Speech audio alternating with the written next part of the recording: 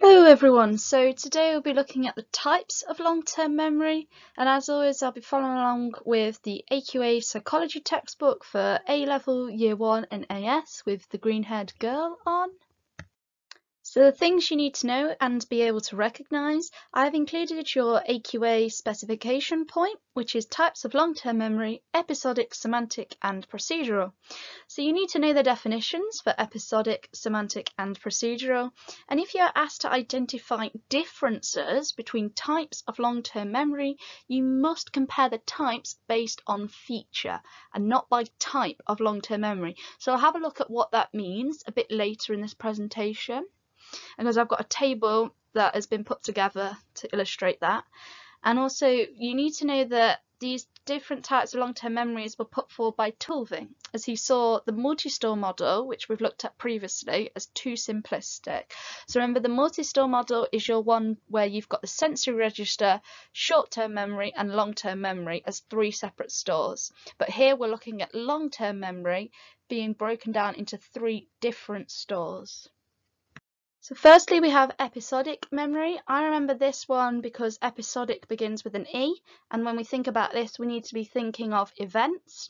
So think of your last birthday, your most recent visit to the dentist, what happened in a lesson that you've been to, what happened on a video call, something like that. That is what episodic memory is. And these memories are time stamped so you remember when they happened and your memory includes several events. So it's not only that you remember you had a birthday and you did that it also has specific parts to it. So the people that were there the objects that were in the room and the behaviors that were experienced they all produce a single memory. But you have to make this conscious effort to recall episodic memories Next we have semantic memory. So I've got an example there of the flag on the right hand side that that is Chile's flag and the capital is Santiago. So this is our knowledge that we have of the world and it includes things like facts and long-term memory of this type, semantic, has been referred to as a dictionary and an encyclopedia. So it includes our knowledge of things like how we would apply to university, what the taste of oranges is, and the meaning of words, just a few examples, but that last one is particularly important. So your semantic knowledge includes different concepts, such as what it means to love someone or to not like someone, but you wouldn't remember when you first uh, learnt of the concept love. So these memories are not time stamped, and another example I've got here is we wouldn't remember when we first learned that the capital of Spain is Madrid. And semantic memory is constantly being added to. Finally, we have procedural memory. So I've got examples there of riding your bike or tying your shoes. We also have driving a car. So this is your memory for actions and skills. So if we look at a car, when we indicate into a junction, we don't have to think about that unless you're learning how to drive. Once you've learnt, you will automatically do it. And if you try and explain what you're doing to somebody else, the task itself becomes very difficult. So we now have our AO3. So our first strength that we will look at is clinical evidence. So here we can look at HM and Clive Wearing. The episodic memory was impaired and that was in both of them and that was as a result of something called amnesia so they had difficulty remembering past events that they'd experienced but their semantic memories were intact so they understood concepts such as dog but HM couldn't remember that he'd stroked a dog half an hour before, but he wouldn't need the concept of dog being explained to him, so therefore that particular aspect of memory was intact. And their procedural memory was also intact, so they could both tie their shoelaces, and in Clive Wearing's case, he could also play the piano which supports Tulving's view of long-term memory because we have this clear evidence that these types of memory are different and are stored in different parts of the brain. However, these are both case studies and we can critique those in the sense that that cannot be generalized to everyone. But we have a sound conclusion here because we can clearly see from the behaviors that they were showing that there are different parts to the brain in terms of where the memories are stored. A further strength is neuroimaging evidence. So here we're looking at the evidence for different memories being stored in different parts of the brain. So Tulving here is our research support for this because he got participants to perform various tasks whilst having their brain scanned at the same time using a PET scanner and what he found was that episodic and semantic memories would both record from the prefrontal cortex, but much more specifically, the left prefrontal cortex is involved in your semantic memories, and your right prefrontal cortex is involved in your episodic memories. Now, I remember these by left and S because I can think of someone's name that relates to those two things. So that stops me getting those confused. That is a little technique that I use to remember those. And same with R and E, I know a person's name with the first name R and the last name E, so it helps me remember it by that way. What this also does in terms of neuroimaging evidence, it gives a physical reality that there are different types of long-term memory within the brain.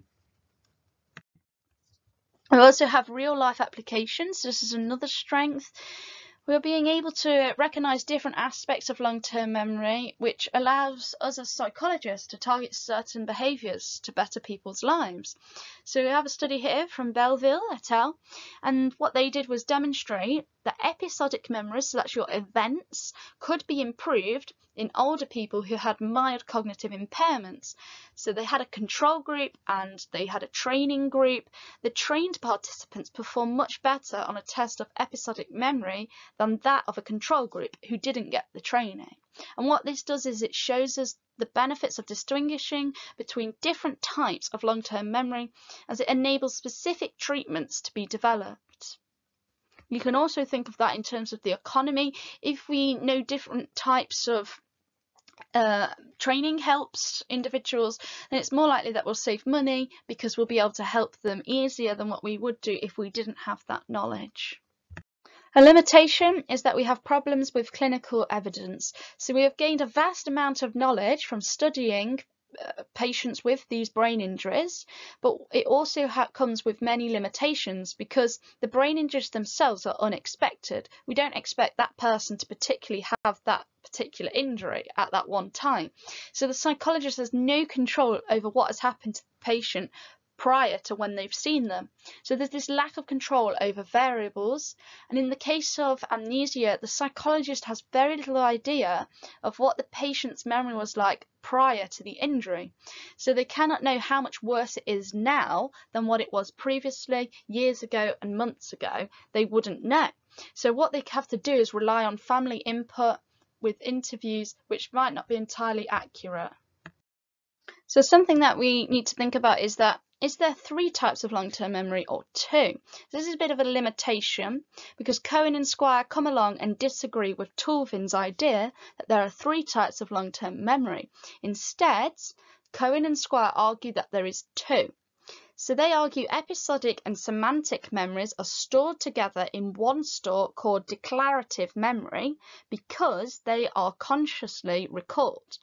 And then they argue that procedural memory has its own store called non-declarative, and that is because procedural memories are not consciously recalled.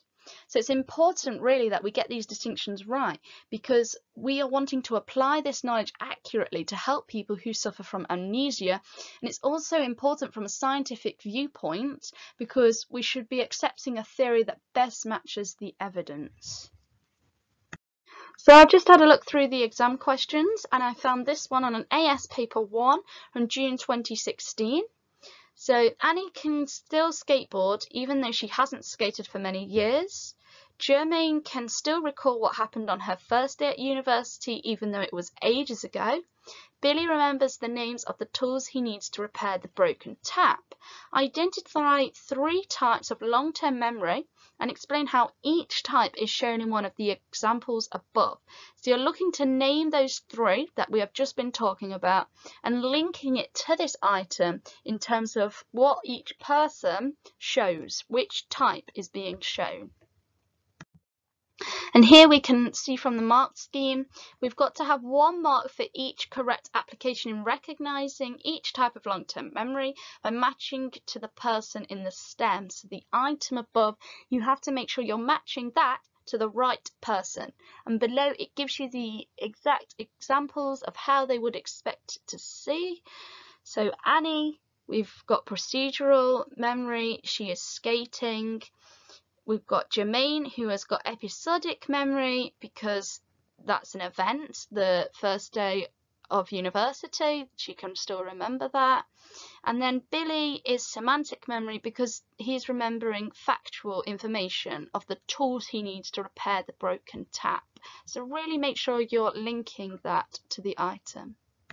So another question is from an A-level paper 1 from June 2017. So this is two types of long-term memory or procedural memory and episodic memory. Explain two differences between procedural memory and episodic memory. So here you do not want to be thinking about semantic. This question actually tricked a lot of students because they got confused about what it means by explain two differences. So you want to be mentioning here features, which we'll have a look at because I've got a table that follows next. But what a lot of people did was do it in terms of the types of memory. They compared the type and not the features. So here you can see I've broken that down into feature and type. A lot of students were looking at the type, but we want to be comparing on feature versus feature. So it was looking there at procedural and episodic, so ignore the last column but I would say you want at least a couple of these up your sleeve in case this sort of question does come up again. So if we look at coding for them both, you can say that a difference here is, or procedural is not timestamped, but episodic is timestamped. Make it really clear in your answer. And here you've got your mark scheme of possible differences.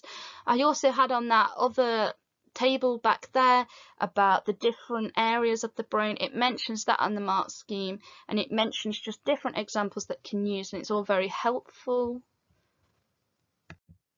Okay, thank you for listening and best of luck with the rest of your revision.